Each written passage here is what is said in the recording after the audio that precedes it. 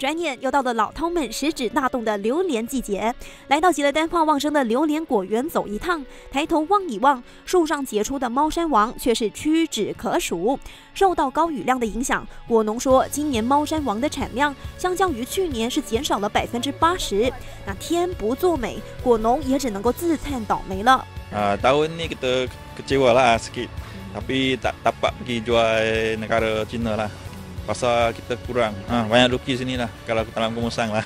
由于产量少，无法出口到中国，那果农只能够在本地市场以及邻国新加坡销售猫山王。他们也唯有期盼来年老天爷赏脸，让他们大厂丰收。